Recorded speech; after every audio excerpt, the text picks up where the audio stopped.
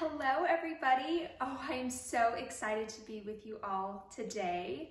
A friend of mine, Amber, a site leader from the Littleton and Avondale districts for Read Better, Be Better, has asked me to read you all a story today. Would you guys like that? Oh, I am so excited. Do you all like stories? Oh, I love stories. When Elsa and I were kids, our mother used to read us stories all of the time.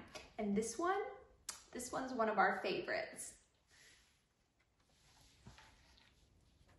So this one is called The Poky Little Puppy, written by Janette Sebring Lowrey and illustrated by Gustav Tenggren, and with permission from Simon & Schuster Publishing Company. Now, when we start a story, do we remember the four words we usually say? Do you think you know them? Let's say them all together. Okay, ready? On three. One, two, three. Once upon a time, five little puppies dug a hole under the fence and went for a walk in the wide, wide world. Through the meadow they went, down the road, over the bridge, across the green grass, and up the hill, one right after the other. And when they got to the top of the hill, they counted themselves. One, two, three, four. But one little puppy wasn't there. Now, where in the world is that poky little puppy, they wondered? For he certainly wasn't on top of the hill. He wasn't going down the other side. The only thing they could see going down was a fuzzy caterpillar. And he wasn't coming up the side. The only thing they could see coming up was a quick green lizard. but when they looked down at the grassy place near the bottom of the hill, there he was, running round and round, his nose to the ground. What is he doing? The four little puppies asked one another, and down they went to see, roly-poly, pell-mell, tumble-bumble, till they came to the green grass, and there they stopped short. What in the world are you doing? they asked. I smell something, said the poky little puppy. Then the four little puppies began to sniff, and they smelled it too. Rice pudding, they said, and home they went as fast as they could, over the bridge, up the road, through the meadow, and under the fence. And there, sure enough, was dinner waiting for them, with rice pudding for dessert. But their mother was greatly displeased. So you're the little puppies who dig holes under fences, she said. No rice pudding tonight. And she made them go straight to bed. But the poky little puppy came home after everyone was sound asleep. He ate up the rice pudding and crawled into bed as happy as a lark. The next morning, someone had filled the hole and put a sign. The sign said, don't ever dig holes under this fence.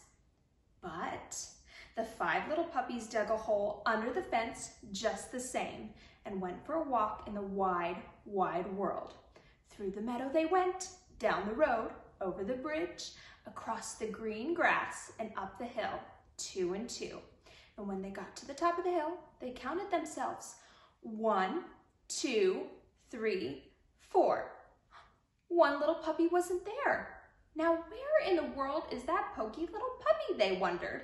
For he certainly wasn't on top of the hill. He wasn't going down the other side.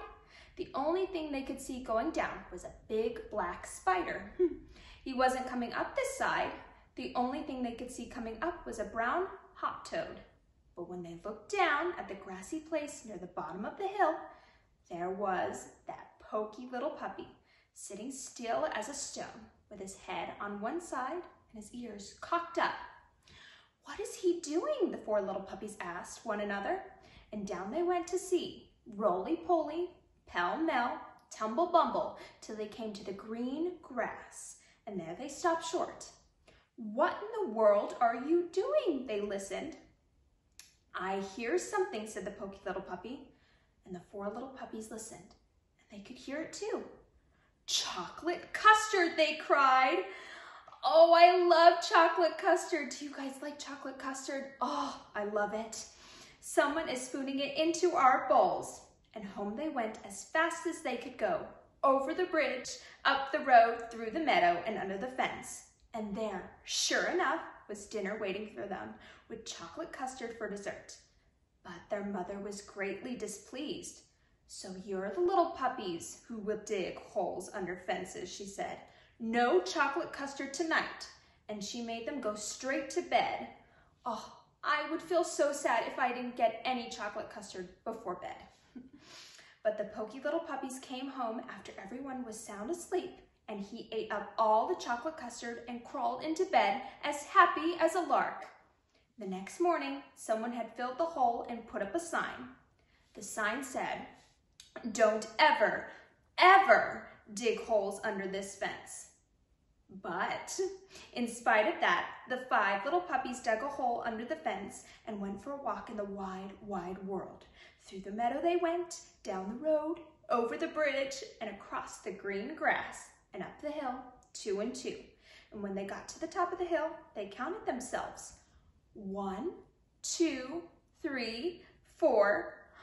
One little puppy wasn't there. Can we guess which puppy it was? Hmm. Now, where in the world is that pokey little puppy? They wondered, for he certainly wasn't on top of the hill. He wasn't going down the other side. The only thing they could see going down was a little grass snake. He wasn't coming up the side. The only thing they could see coming up was a big grasshopper. But when they looked down at the grassy place near the bottom of the hill, there he was, looking hard at something on the ground in front of him. What is he doing? The four little puppies asked one another, and down they went to see. Roly-poly, Mel-Pell, Tumble-Bumble till they came to the green grass, and there they stopped short. What in the world are you doing? they asked. I see something, said the pokey little puppy. The four little puppies looked, and they could see it too. It was a ripe, red strawberry growing in the grass.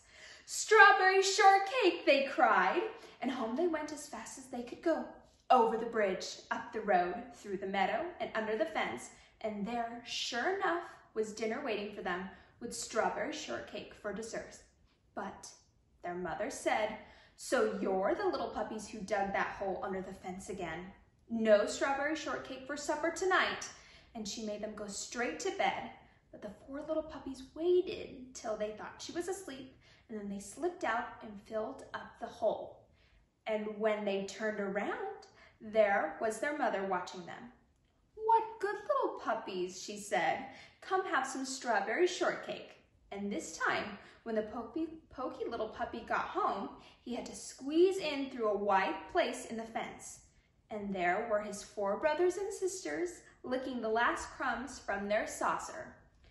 Dear me, said his mother, what a pity you're so pokey. Now the strawberry shortcake is all gone. So Pokey Little Puppy had to go to bed without a single bite of shortcake, and he felt very sorry for himself.